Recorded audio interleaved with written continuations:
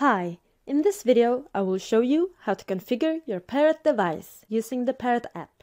Connect the Pairot and your mobile device to your local internet. The Pairot device will then be available when you open the Pairot app. Click on the Pairot device you wish to use.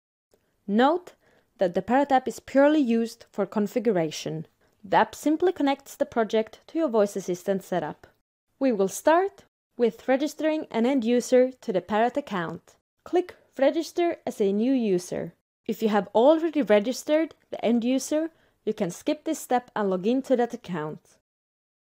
Set a username and password for the account. Next is the account details. The only mandatory information is the email address, which is needed for password recovery. Scroll down and click Next. Check that all the information in the summary is correct and click Register. Now that we have registered the end user, we need to import the project. Click Load Configuration. The app will tell you if the configuration loaded successfully. Now we have our project in the app. Next, we need to connect the Pairot to a voice assistant.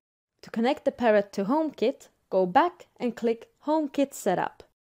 Then click Add Pairot to Home. If you have multiple homes, select the one you wish to add the Pairot to. You can then scan the Pairot or the packaging. Alternatively, you can manually input the 8-digit code, which you can find on the side of the device. Pressing the control button will open the Home app. Your project is now connected to HomeKit. Note that only 150 components can be registered to a Pairot device. If you have more components, you can always add more Pairot devices to the project. Go back to the Pairot app and click Transfer Predefined Room Layout. Choose to transfer all components if this is the first time connecting the device. If you update your project in the future, you can choose to only transfer the new components. You have now set up your project and connected the Pairot device to HomeKit. Go back to the starting menu and click Supported Functions. Here you can see all the components in the project. If you add or remove any components from your project online, you will have to load the functions again to sync the project.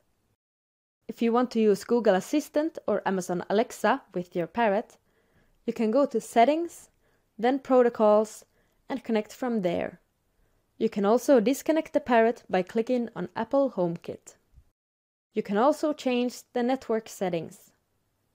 If you go to Other, you'll find where to do a factory reset on the Pairot, log out, and change the password.